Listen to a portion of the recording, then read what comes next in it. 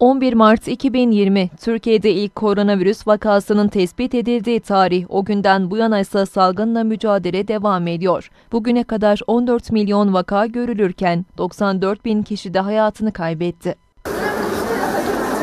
Çin'de ortaya çıkan COVID-19 virüsünün küresel salgına dönüşmesinin ardından Türkiye'de ilk vaka 11 Mart 2020'de görüldü. İlk ölümse 17 Mart 2020'de yaşandı. Salgınla geçen iki yılda dünyadaki birçok ülkedeki gibi Türkiye'de de virüsün yayılmasını önleyebilmek için uçuşların durdurulması, sokağa çıkma kısıtlaması, uzaktan eğitime geçilmesi, kafe ve restoran gibi yerlerin geçici süreyle kapatılması, kamuya açık etkinliklerin iptal edilmesi gibi çeşitli önlemler devreye girdi. Salgın günlük hayat alışkanlıklarını da değiştirdi. Bu süreçte AVM'lerle kurum ve kuruluşlara girişte HES kodu göstermek ve ateş ölçümü yaptırmak zorunlu hale geldi. Yurt dışına seyahat edecekler veya hastalık belirtisi olanlar için PCR testi uygulaması başlatıldı.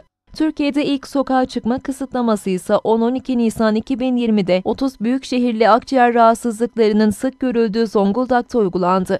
Sokağa çıkma kısıtlamaları vaka sayılarının pik yaptığı dönemlerde tekrarlandı. Covid-19'la mücadelede 2021'de aşılar devreye girdi. 14 Ocak 2021'de sağlık çalışanlarıyla başlayarak 65 yaş üstüyle devam eden aşılama programına hızla yeni yaş ve meslek grupları eklendi. 2 Mart 2021'de kontrollü normalleşme süreci başladı. Ancak Nisan ayında vaka sayıları hızla artışa geçince kesintisiz sokağa çıkma kısıtlamasını içeren tam kapanma dönemi uygulandı. 17 gün süren tam kapanmanın ardından da kademeli normalleşme dönemine tekrar geçildi. Türkiye'de 1 Temmuz'dan itibaren de normal hayata dönüşü sağlayacak yeni dönem başladı. Aşılama hızla devam ederken yerli aşı da devreye girdi. 2 Mart 2022'den itibaren ise maske takma zorunluluğu açık havada kaldırıldı. Kapalı ortamlarda ise havalandırma ve mesafe kuralına göre uygulanmaya başladı.